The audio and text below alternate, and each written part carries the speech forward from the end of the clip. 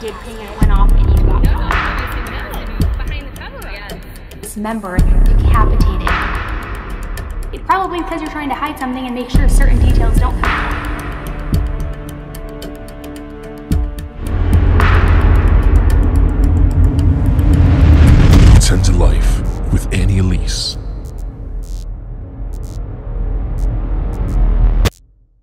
Hey guys, welcome back. My name is Annie Elise and this is my channel 10 to Life.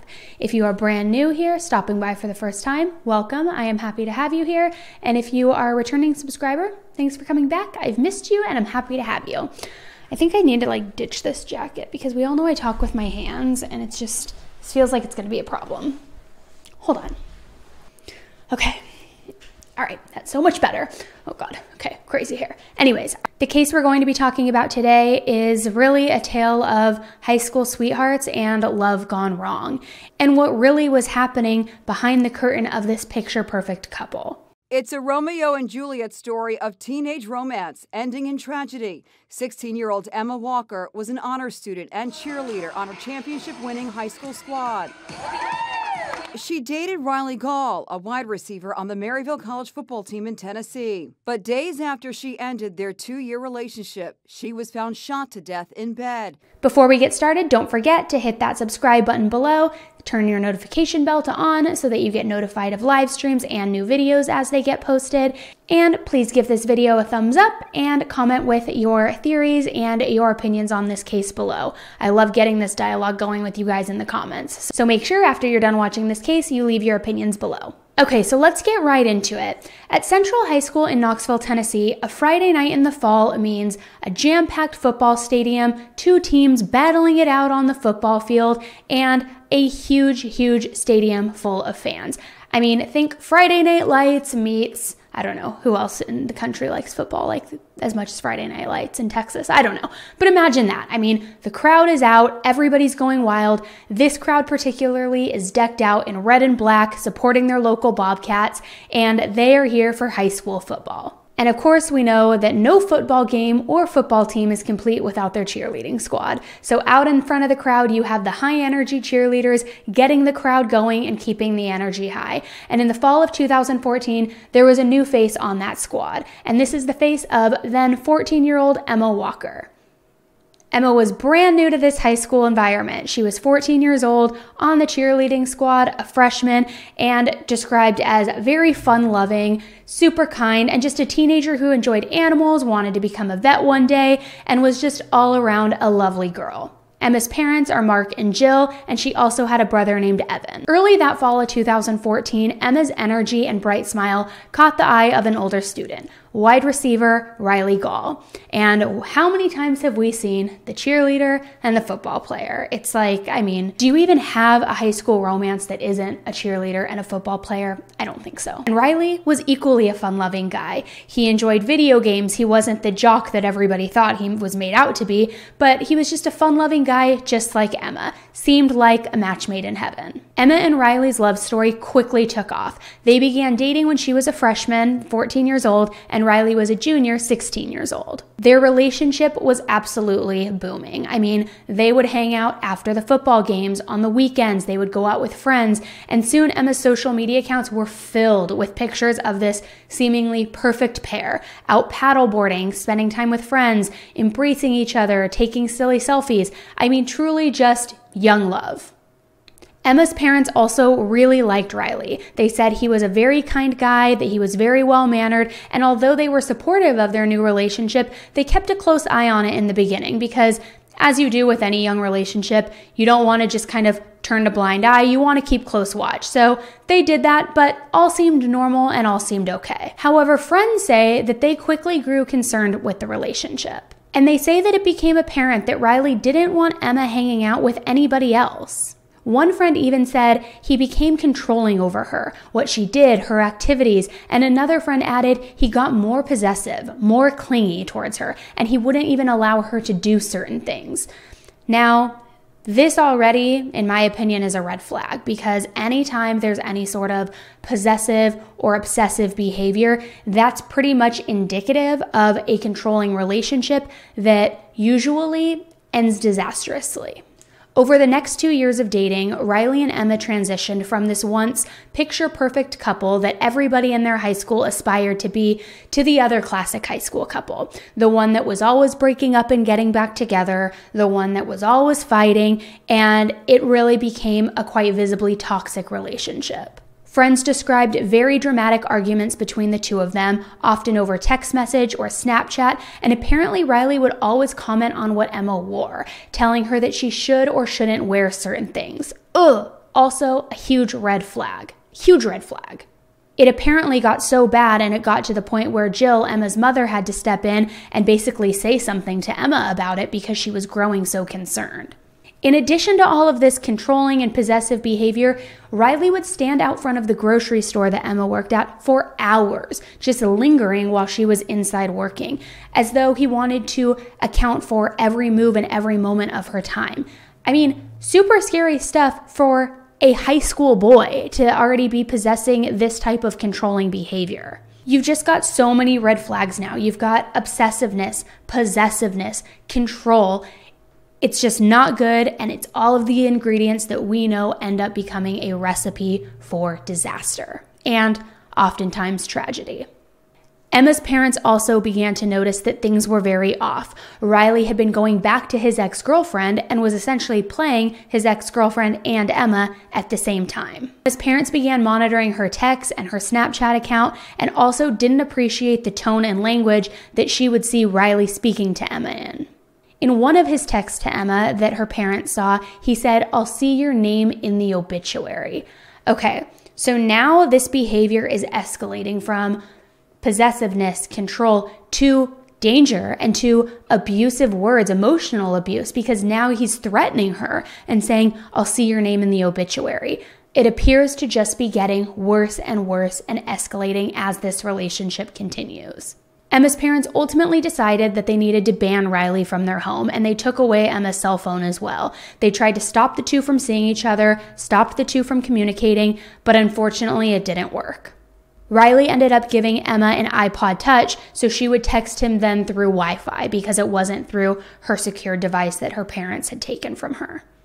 And in true narcissistic, manipulative behavior, and in true fashion of these characteristics and these type of people, for every nasty message that Riley would send Emma, there was a quick apology. So he would say, Emma, I'm sorry for however I act in one message, and then in the other message, talk about what a bitch she is and how much he hated her.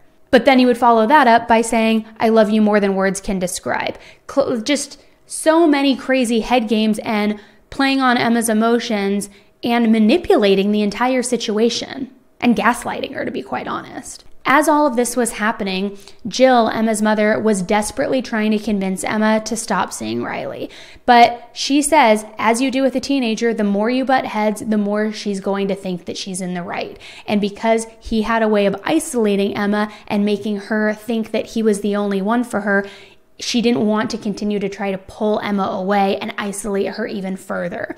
And I can draw on my own experience a little bit in that regard. When I was much younger, and I'm sure that if you're a woman and you're watching this, whether you have children or you relate to yourself when you were younger and in high school, you do think you're right. You think that if you're butting heads with your parent or if they are putting rules or regulations on you, it's because they're trying to hurt you somehow or they're trying to harbor you from having a good time or having fun. So I understand where this thought process came into play for her mother, Jill, because you don't want to try to control the situation so much that you end up pushing her further away and further into the enemy's arms. By fall 2016, which is now two years after they initially met, Emma and Riley were still dating. Riley had graduated at this point and he was an 18 year old freshman at a nearby college. Emma was in her junior year of high school, and their tumultuous relationship had not only continued, but it had gotten worse despite all of the attempts from her parents to intervene and stop it. Around Halloween that year, Emma's parents decided to ground her, not allowing her to leave the house except to go to school and to go to cheerleading. They also started monitoring everywhere that she went, and to their surprise, it seemed to work. Luckily, Emma finally ended the relationship with Riley for good, and according to her closest friends, she was ready to move on and she was putting the past behind her.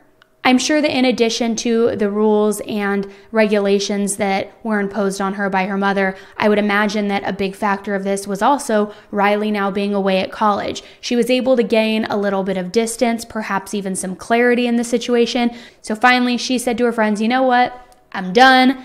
I'm done with this. I'm moving on. Boy, bye. Riley, however, did not seem to take the breakup very well. And while in his college dorm, he swallowed a bunch of Vicodin pills and washed them down with alcohol in an attempt to commit suicide. On Friday, November 18th, Emma was at a friend's house celebrating the football win. She started receiving weird texts, though, from an unknown sender. These texts were stating that the person on the other end had kidnapped somebody that she loved, and that Emma needed to go outside alone to her car with her keys, and that if she didn't comply, the person she loved that was kidnapped was going to be hurt. I mean, this feels like it's right out of a movie. She was also told that the person that had been kidnapped was in a ditch. So, so Emma went outside as instructed and she saw Riley lying there on the ground, appeared to have been kidnapped or recovering from a kidnapping and injured.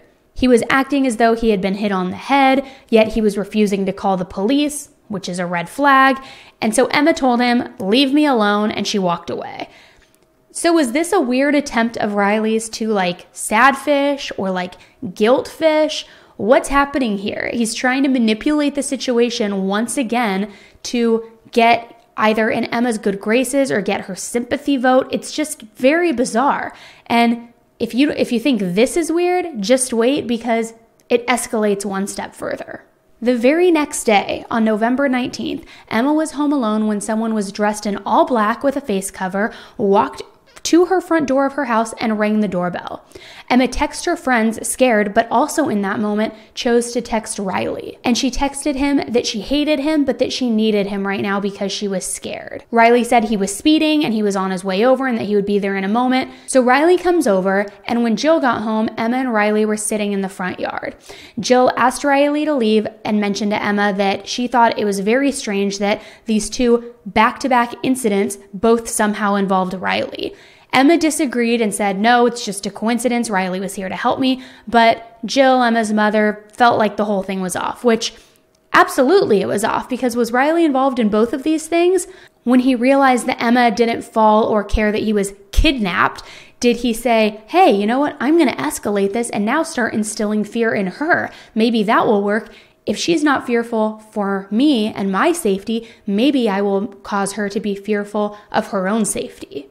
Also, I can't help but wonder is there some sort of level of high school dramatics here that was also intriguing for either of the parties? Of, ooh, it feels like it's out of a movie, it's dangerous, I need you, let me cling to you. It's just icky. The entire thing is very, very icky. So now it's Sunday. The weekend has pretty much come and gone, and things seem to be normal. Emma's parents followed her to and from work to make sure that she was safe, but Everything seemed to have calmed down. Emma was texting with another friend about a school assignment, there wasn't anything out of the ordinary, and everything seemed okay overall. However, the next day on Monday, November 21st at 6 a.m., everything was about to change, and Emma's parents' life would be shattered forever. At 6 a.m., Jill went in Emma's bedroom to wake her up, and she received no response. She said Emma's name, she tapped her leg, nothing. Absolutely no response from Emma. Then she decided to, of course, look at Emma's face and check for a pulse. Jill immediately called 911.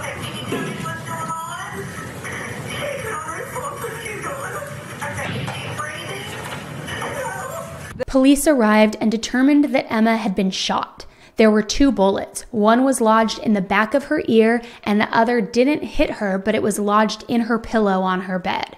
Now, the night before, Mark, Emma's father, had said he heard something that sounded like slamming doors. He checked the house and everything seemed okay, nothing was amiss, so nobody thought that it, they needed to call the police or that anything was, of course, a possible danger. However, now, given the circumstances, they, of course, are feeling otherwise.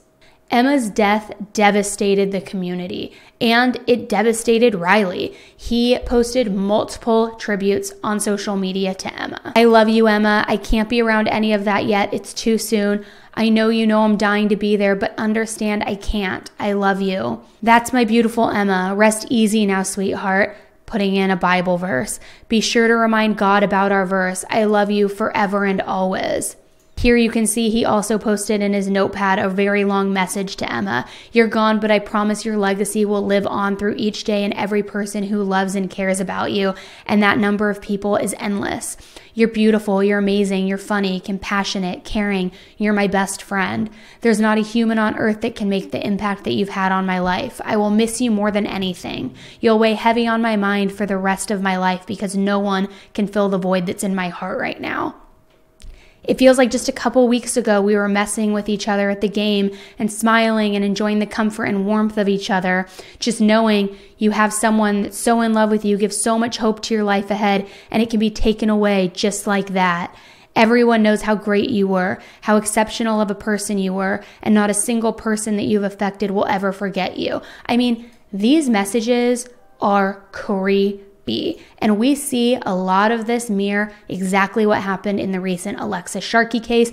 And if you're not familiar with that case, I have the playlist, go watch it. But her husband did the exact same thing after she was found. He posted tons to social media talking about how this is so awful for him, how his heart is breaking, making it about himself, and also trying to have this public display of how much he loves Alexis, just as Riley is trying to portray this public display of how much he loves Emma and needs Emma and how they were soulmates, even though they were broken up and had a pattern of a very toxic relationship. As the police began their investigation and detectives were looking into certain things, Riley's name kept coming up in the investigation. A friend of Riley's named Alex McCarthy told detectives that he had gone to Riley's house in order to check up on him because he said Riley was, of course, very distraught, very heartbroken over the passing of Emma. Alex told detectives that while he was at Riley's house, Riley showed him a gun that he had stolen from his grandfather.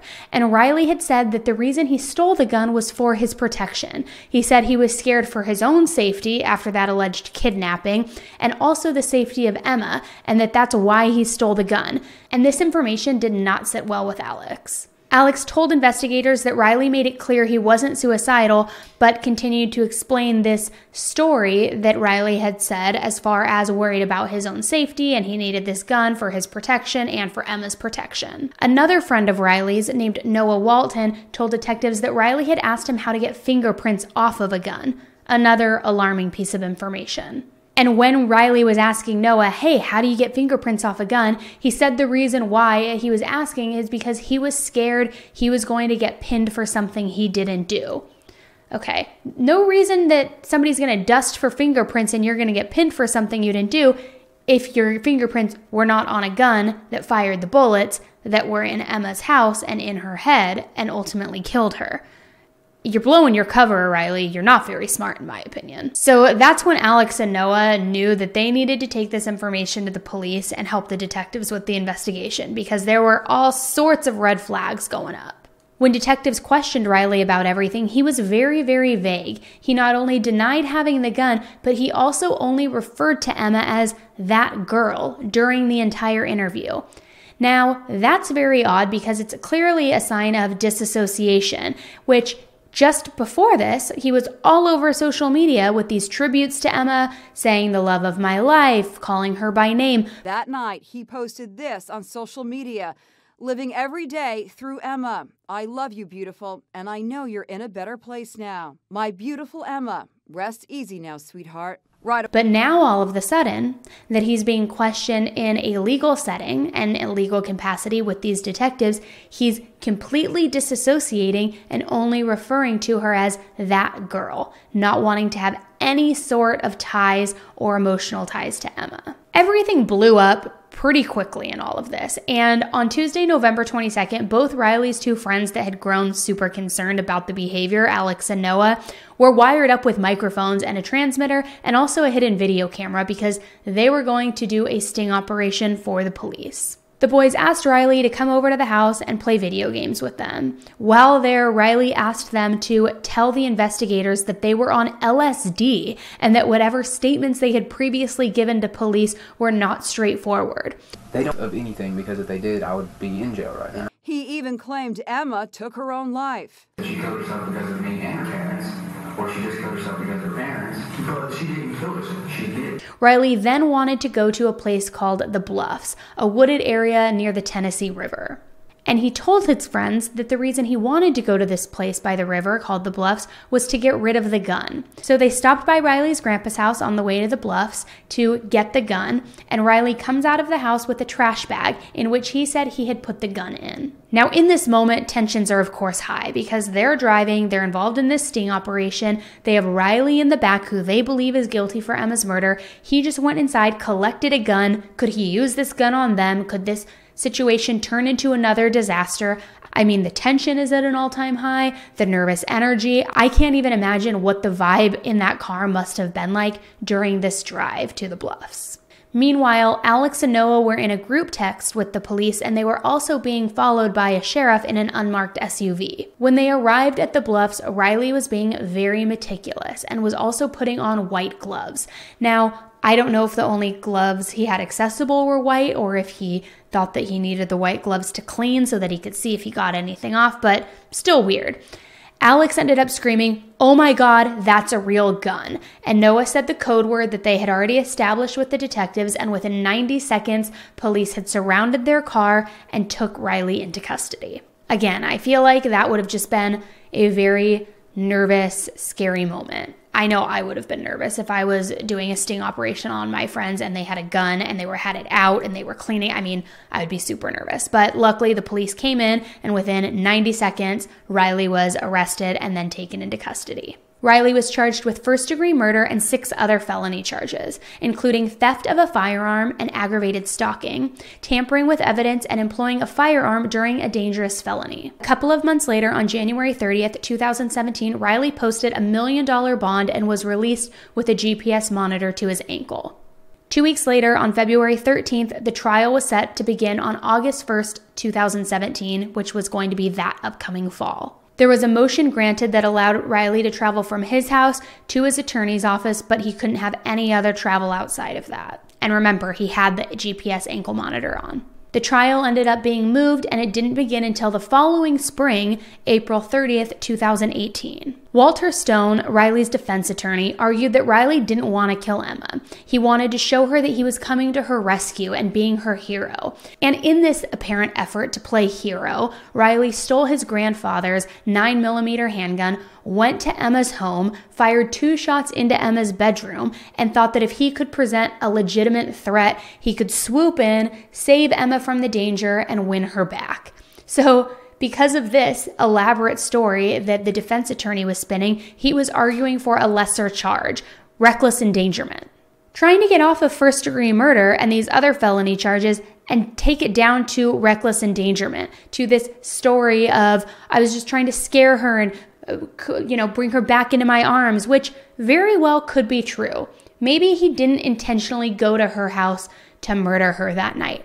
However, you shot and fired a gun into her bedroom window. You took the risk knowing that it may hit her. So you now have to take responsibility for what happened. And again, even if that was his apparent story to be her hero, how sick and twisted do you have to be to come up with that elaborate story trying to win your partner back? It is so bizarre to me. During the trial, Riley addressed the court and Emma's family, and he said, I'm sorry I took Emma away from you. My intentions were not and never have been to cause physical harm. I wanted to scare her. I loved Emma. There is not a day that goes by that I don't think about what I did.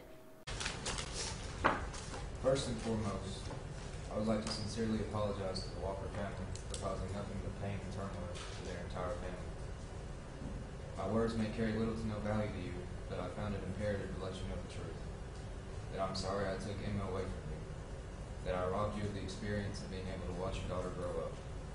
Again, I'm sorry. I would also like to apologize to my family for the pain and embarrassment I put you through. I love you, and I hope that you can forgive me. I know that nothing I can do will ever bring Emma back or alleviate the pain that I've caused. But what I can do is tell the truth of what happened that night. My intentions were not, and never have been, cause Emma any physical harm. At times, I was a terrible boyfriend. I caused her emotional and psychological pain during the two years that we were together. but I never once even imagined to cause her any physical harm. My intentions that night were never to harm Emma, let alone take her life. I wanted to scare her, to frighten her so bad that she would have no choice but to talk to me again, to confide in me. I would be there to comfort her and win her back. I love Emma, and there's not a day that goes by that I don't think about her or what I did. I know that I can't be forgiven, and this will never be forgotten. But now that the truth is out, I pray that it's enough to show that I never meant to take Emma's life. Again, I'm sorry. I hope that that is true. I hope that he sits with it every single day and knows what how reckless his behavior was, how thoughtless his behavior was, and that he is sitting and reflecting on the damage that he has caused for this poor family and the horrific nightmare that they had to endure because of him and because of his selfishness and possessiveness and obsessiveness. On May 8, 2018, after four hours of jury deliberation, Riley was found guilty of first degree murder. He was found not guilty of aggravated stalking, but was found guilty of stalking, guilty of theft, guilty of tampering with evidence, guilty of reckless endangerment, not guilty of employing a firearm during a dangerous felony, but guilty of possession of a firearm during the commission of a dangerous felony, and guilty of felony murder. A lot of charges. Riley was then taken into custody. Riley was taken into custody on May 8th and sentenced to a life term for first degree murder. He'll be eligible for parole after 51 years. He was also sentenced to a 29 day sentence for a misdemeanor stalking charge, one year for the felony theft charge, three years for the felony of tampering with evidence, three years for the felony reckless endangerment, and three for felony possession of a firearm during the commission of a felony. And all of those charges run concurrently. So now what? Riley is in prison serving a life sentence, possibly eligible for parole. It's 2021, and Emma would be in her junior year of college right now. Just beginning her life with such a bright future ahead, but instead, she was robbed of that by her jealous and possessive boyfriend. So now she is dead and he is in prison. For what? For what? For what purpose? To what end? We often see cases of DV turn deadly in marriages and more mature relationships, but this is a perfect illustration that DV and abusive relationships can truly happen at any age. And it's a reminder that if you see something, say something. And God forbid if you personally find yourself in an abusive situation, please, please reach out for help. You can get out.